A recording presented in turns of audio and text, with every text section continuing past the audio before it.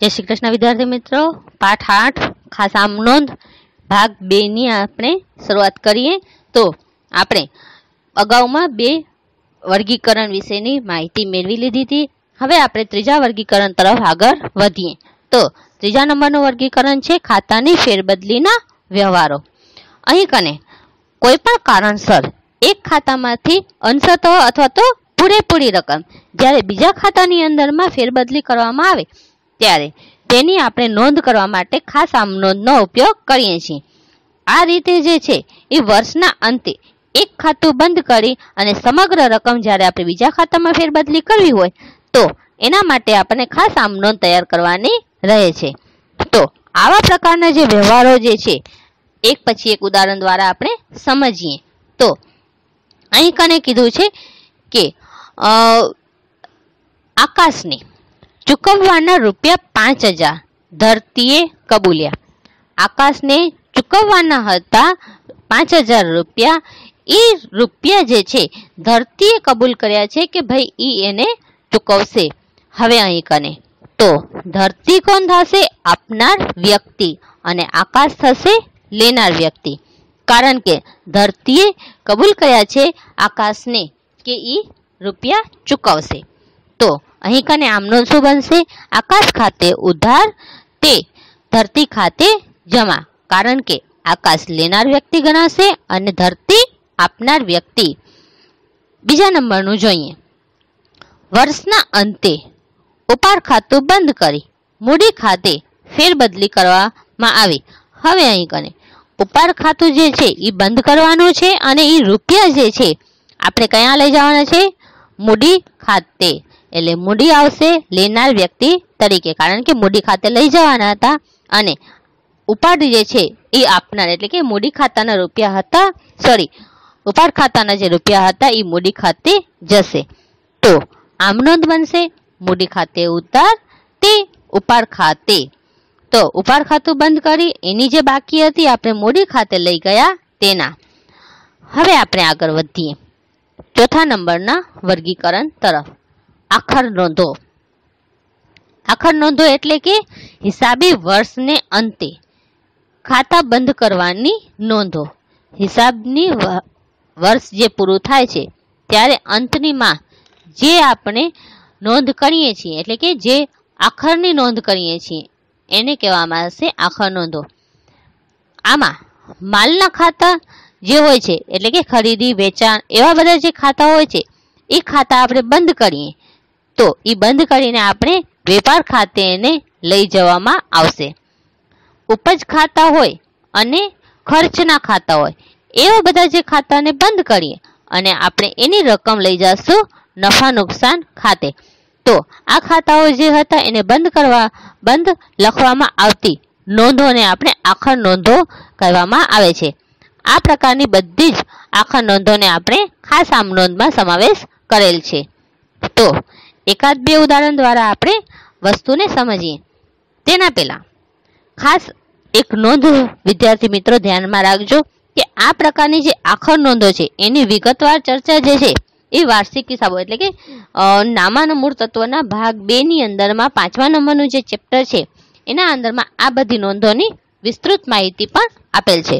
અહીં કાને માત્ર આપણે ખાસ આમ નોંધ પૂરતી જ માહિતી છે, બાકી વિસ્તૃત માહિતી આપણે એ પ્રકરણમાંથી મળી રહેશે. તો ઉદાહરણ સમજીએ. તો વર્ષના અંતે આપણે ખરીદ ખાતાની બાકી દીધેલું છે પંચોતેર હજાર રૂપિયા. ખરીદી છે એટલે કે માલ શબ્દ આવ્યો. માલ આવ્યો અને પિચોતેર હજાર રૂપિયા. ખરીદ ખાતું હંમેશા આપણે શું કરતા હતા? આમ નોંધ સમજી ત્યારે ખરીદ ખાતું હંમેશા ઉધાર કરતા હતા. હવે અહીં કને, ખરીદ ખાતાને બંધ કરવામાં આવે છે. એટલા માટે ખરીદ ખાતું શું થશે? જમા. અને એ જમા કર્યાની રકમ જે હતી પંચોતેર હજાર રૂપિયા. માલ છે એટલા માટે લઈ જશું વેપાર ખાતે. એટલે નોંધ થશે વેપાર ખાતે ઉધાર, તે ખરીદ ખાતે જમા. આ પ્રકારની આપણે આમ નોંધ થશે. પંચોતેર હજાર રૂપિયા રકમના ખાનામાં આપણે બંને બાજુ એ જ દર્શાવવામાં આવશે. બાબત જે, પંચોતેર હજારથી ખરીદ ખાતું બંધ કરી તે વેપાર ખાતે લઈ ગયા તેના. બીજા નંબરનું જોઈએ તો આવક માલ ગાડા ગાડા ભાડા. ખાતાની બાકી છે બે હજાર રૂપિયા. હવે, આવક માલ ગાડા ભાડું એટલે કે એ પણ વેપાર ખાતાને જ અસર કરે છે. તો, એને પણ શું થશે? વેપાર ખાતે ઉધાર, આવક માલ ગાડા ભાડા ખાતે જમા. તો, રૂપિયા બંને બાજુ બે હજાર અને બાબત જે આવશે? રૂપિયા બે હજારનું આવકમાલ ગાડા ભાડું ખાતું બંધ કરી વેપાર ખાતે લઈ ગયા તેના. હવે આપણે પગારનું જોઈએ. તો પગાર ખાતાની બાકી. અહીં કને, પગાર ખાતાની બાકી છે. પગાર શું થશે? એક પ્રકારનો ખર્ચ. હવે આ ખર્ચ છે. તો કેને અસર કરશે? નફા નુકસાન ખાતાને. તો આપણે એની નોંધ કેવી રીતે કરશું? તો અહીં કને, પગાર ખર્ચ છે. ખર્ચ હંમેશા આપણે ઉધાર કરતા હતા. હવે આપણું ખાતું બંધ થાય છે. એટલે પગાર ખાતે થશે જમા. અને ઉધાર કરશું આપણે નફા નુકસાન ખાતાને. કારણ કે ખાતું બંધ કરશું તો એ નફા નુકસાન ખાતાને અસર કરશે. એટલે આમ નોંધ બનશે નફા નુકસાન ખાતે ઉધાર, તે પગાર ખાતે રૂપિયા આવશે બંને બાજુ વીસ હજાર રૂપિયા. બાબત જે રૂપિયા વીસ હજારનું પગાર ખાતું બંધ કરી નફા નુકસાન ખાતે લઈ ગયા તેના. પછી એક હજી પણ જોઈ લઈએ. ડિવિડન્ડ ખાતાની બાકી.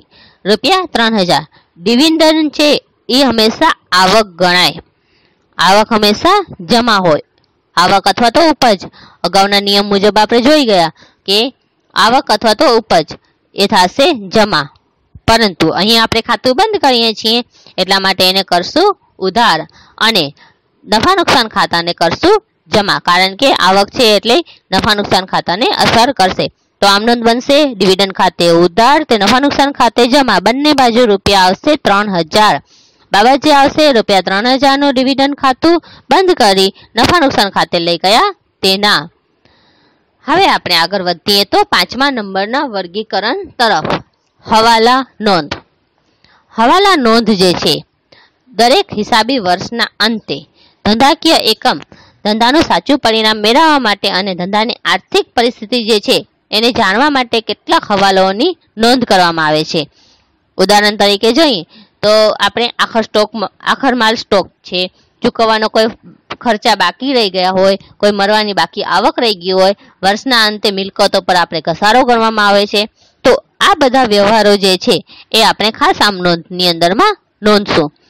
હવે, વિદ્યાર્થી મિત્રો, અગાઉમાં પણ મેં કીધું હતું કે હવાલો નોંધ આખર નોંધ એ બધા જ વસ્તુઓની અથવા તો બધા જ વ્યવહારોની વિગતવાર ચર્ચા જે છે એ આપણે વાર્ષિક હિસાબો નામના પ્રકરણમાં કરીશું.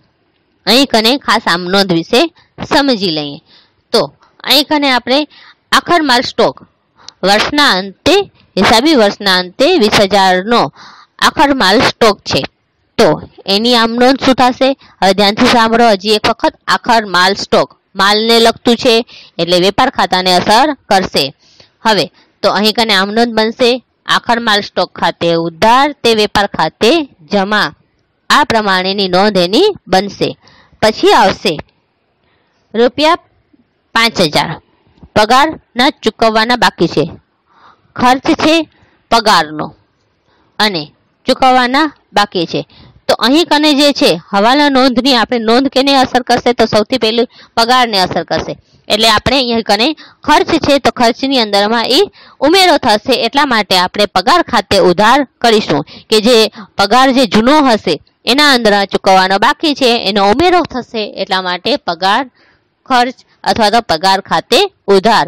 અને તે આવશે ચૂકવવાના બાકી પગાર ખાતે, કારણ કે હજી ચૂકવવાના બાકી છે. એટલે એ ભવિષ્યમાં આપણને ચૂકવવાના રહેશે. તો એક પ્રકારનું દેવું ઊભું થાય છે. તો એને કહેવામાં આવશે તે ચૂકવવાના બાકી પગાર ખાતે. બંને બાજુ આવશે રૂપિયા પાંચ હજાર.